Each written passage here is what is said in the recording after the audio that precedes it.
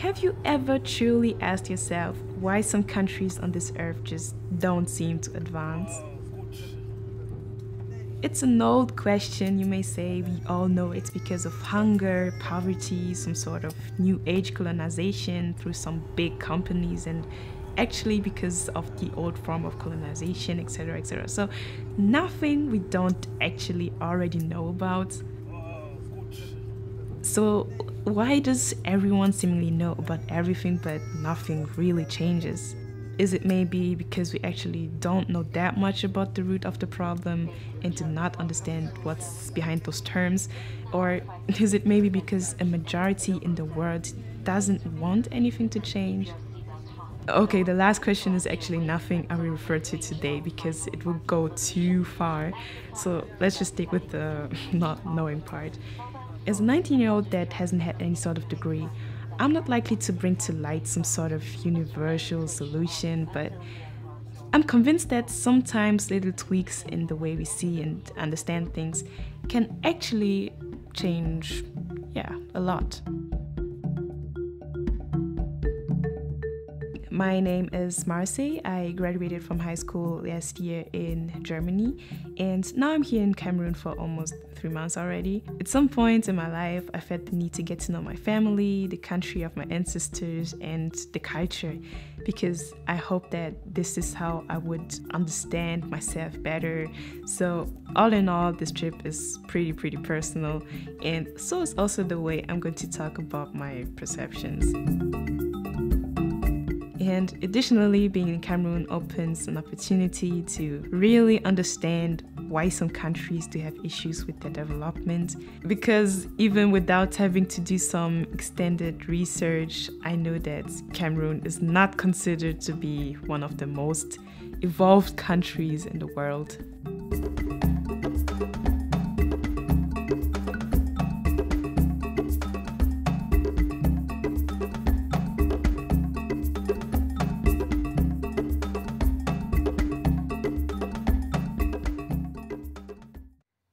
To understand how I came to certain realizations, I will need to lead you through my thinking process. And no, it's not going to be boring, I promise. I will start with a short experiment. Just look at your shoes. They didn't get between the pile of clothes on your chair where they absolutely don't belong to by themselves.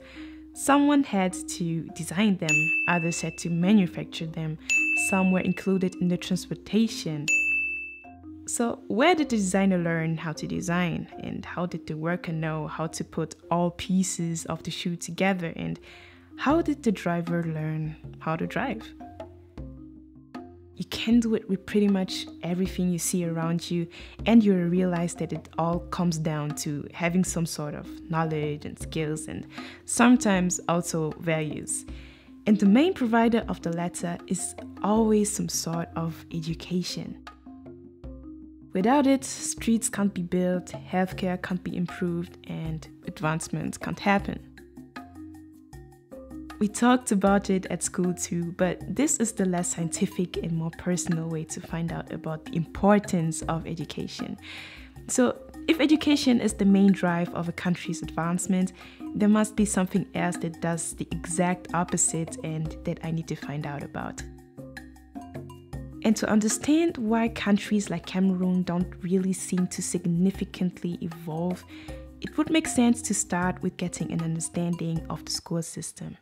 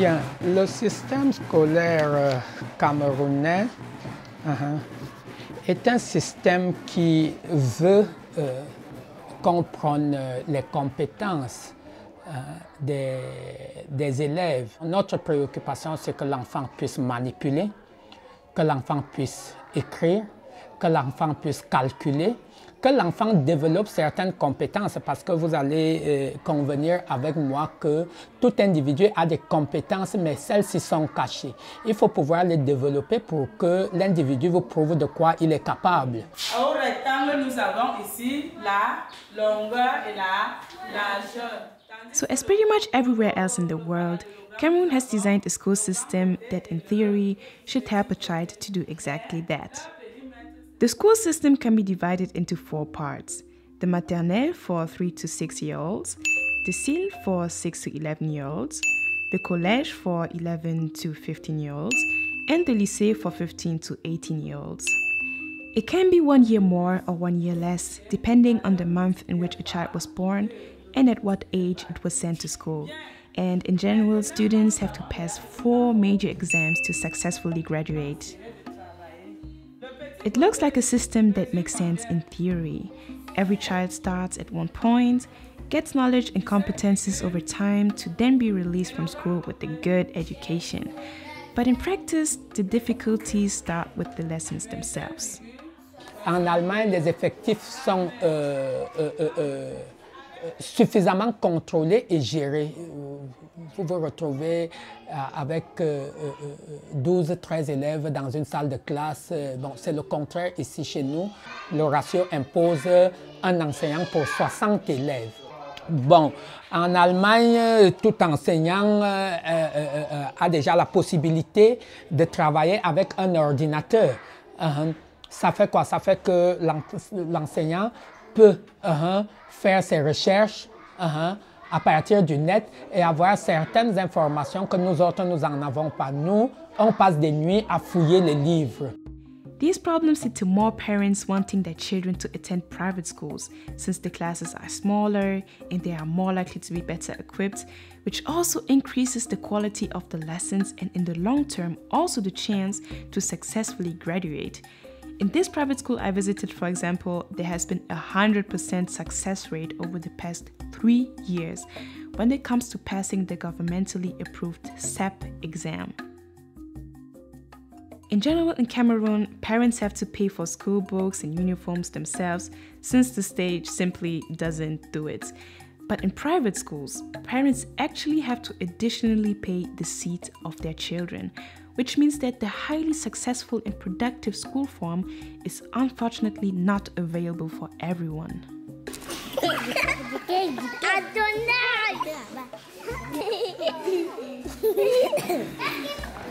okay,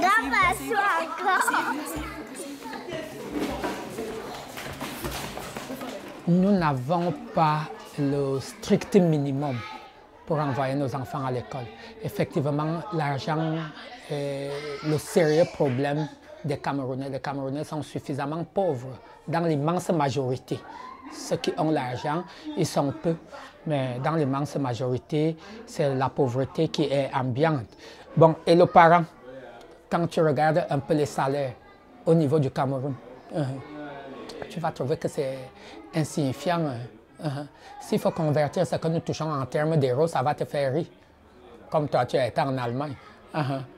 S'il faut convertir ça en termes d'euros, ça va vraiment te faire rire. Tu vas te rendre compte qu'il y a des gens au cours d'un mois qui touchent 10 euros, qui touchent 20 euros.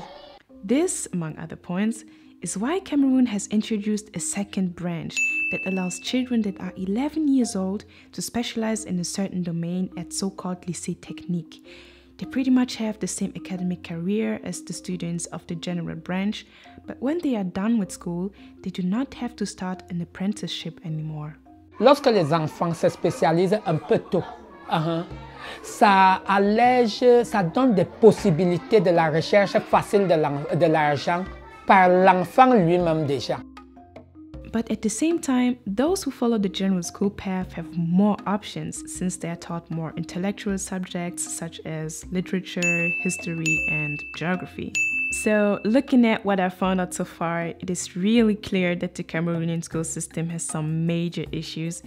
And I've also realized that the root of every single one of those problems must somehow come from poverty. And when the majority of the country is poor, it's often a sign for a dysfunctioning of governing.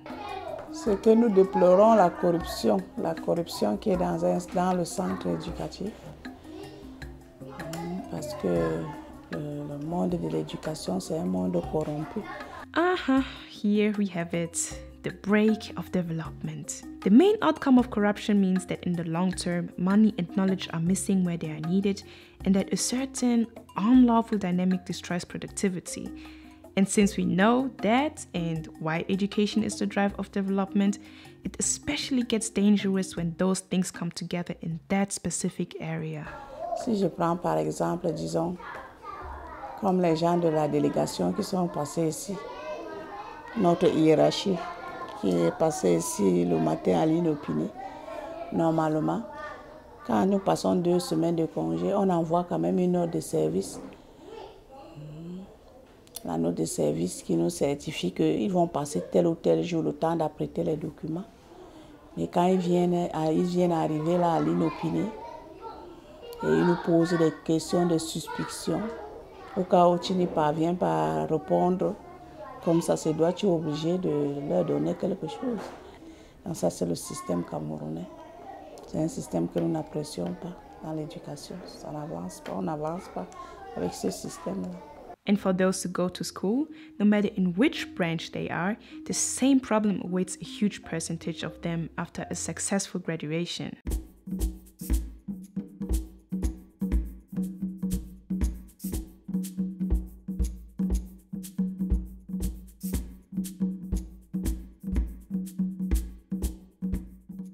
Le cas des écoles, de, je peux dire des, des écoles secondaires de haut niveau, où il faut parfois monnayer pour avoir des places. Ce qui fait que ceux mêmes qui méritent, ceux mêmes qui, qui travaillent vraiment pour avoir de- certaines choses, ne l'ont pas. Ils sont obligés de rester là au quartier, à vadrouiller, à vagabonder. Je prends l'exemple de, de certaines personnes que je connais très bien qui ont des licences, donc des diplômes académiques, euh, je peux dire, bien édifiés, qui sont édifiés, mais qui, ne sont, qui sont là, assis, font par exemple le call box, ouvrent des cafétérias, tout ça. So, apparently, for young people, it has become more important to do something that brings them quick money rather than to know a lot and not being able to find a job. And for everyone in general, the trust in having a career opportunity seems to be lost or has never even existed.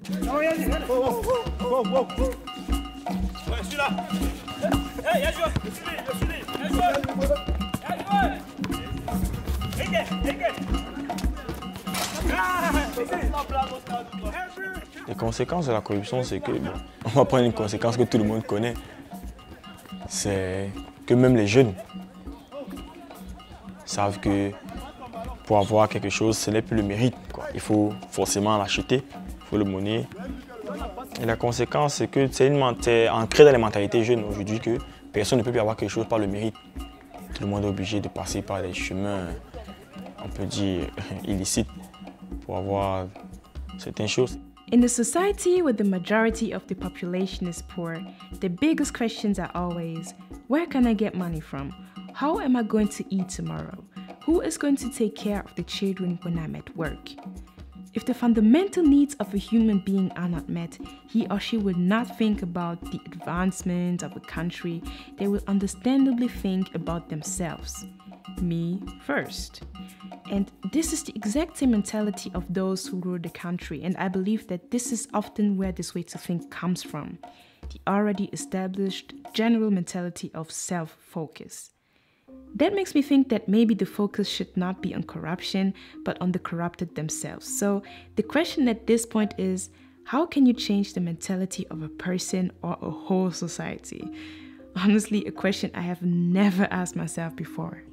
La mentalité, je pense que pour la changer, il faut d'abord que le gouvernement d'abord change leur propre mentalité. Ensuite, qu'il inculque cette mentalité-là, changer aux jeunes, parce que ça passe par l'éducation, bien sûr. l'éducation des jeunes dès le bas âge. Il faudrait que cet exemple, l'exemple que le gouvernement montre est que faut laisser, comment dire, que le, le jeune doit cultiver l'effort, doit cultiver le goût de l'effort. Parce que c'est en faisant des efforts que tu peux avoir ce que tu veux. I do understand, but what if in the end the government doesn't change its mentality at all? Non, la mentalité devait être, doit être axée sur l'éducation. On doit préconiser l'éducation des enfants dès le bas âge, ce qui va permettre que, bon, à tous les niveaux aussi sur le plan familial et social, sur le plan familial, il doit avoir, les parents doivent bien éduquer les enfants, leur apprendre, comme je disais, le goût de, l'effort. Ce qui fait qu'au fur et à mesure qu'ils grandissent, ils vont grandir avec cette, cette mentalité-là, de travailler toujours dur pour avoir ce qu'ils méritent. Et au fur et à mesure, quand ils seront grands, ici se retrouve aussi dans le gouvernement, bien sûr, on va retrouver des, garçons, des, filles, des hommes en général, qui auront envie de progresser, de faire progresser les autres le mérite. And here you go again education. Looking at the internal problems of a country, there seems to be a fight between education and corruption.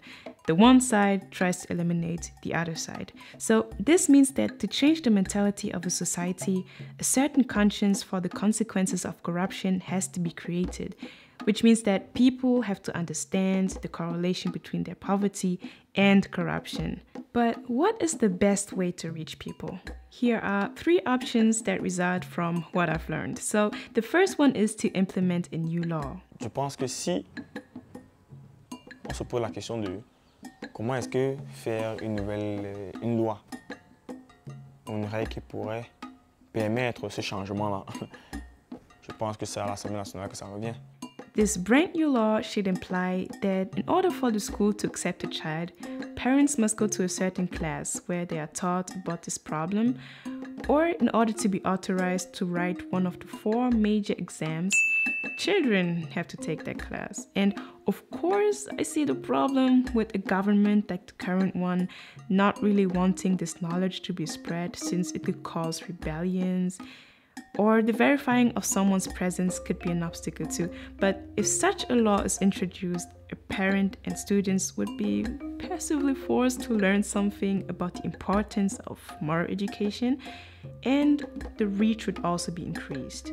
The second possibility is to work with NGOs that would either take over that task or start their own education programs. Of course, they have to be regulated too but this is just an idea. And the third one, and maybe the most important one, is the cooperation between schools and parents. Comment est-ce que nous suivons les enfants? Comment est-ce que nous gardons les enfants? Comment est-ce que nous dispensons les leçons? Comment est-ce que nous donnons les exercices? Est-ce que ces exercices-là sont corrigés? Est-ce que l'enseignant suit particulièrement, individuellement chaque enfant? Hein? Et ça doit se ressentir au niveau. This is how parents would learn to trust the school system more and to stay motivated to educate their child because there may be no better assurance for a parent than to know that someone actually cares for their children. So, why is it possible that some countries do not evolve? I have found out for myself that it is because of a certain mentality that people have because of their poverty. And poverty can have a lot of reasons besides a corrupted government, but a corrupted government has a huge impact on its country's development. I personally think that it's just a question of time until the minority that wants change actually becomes a majority. And this is when the country has the chance to advance.